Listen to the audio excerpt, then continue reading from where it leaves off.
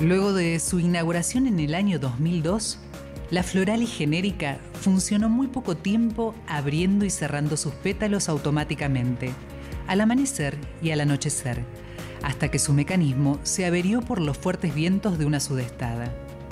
Desde entonces, los intentos de reparación fueron infructuosos debido a que la empresa que lo había construido se retiró de la Argentina.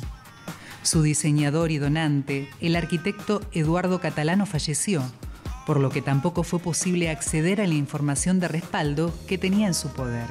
Pero ahora, uno de los monumentos emblemáticos de la ciudad de Buenos Aires se ha despertado de su prolongado letargo, volviendo a funcionar luego de un largo y complejo trabajo que tomó más de seis meses y el aporte desinteresado de varias empresas que así lo hicieron posible.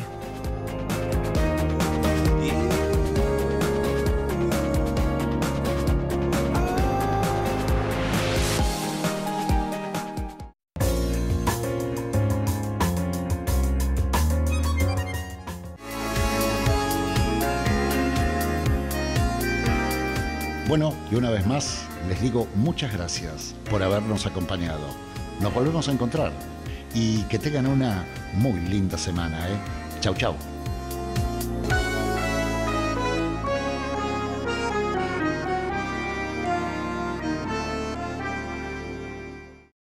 La Asociación de Hoteles, Restaurantes, Confiterías y Cafés presentó Destino Buenos Aires.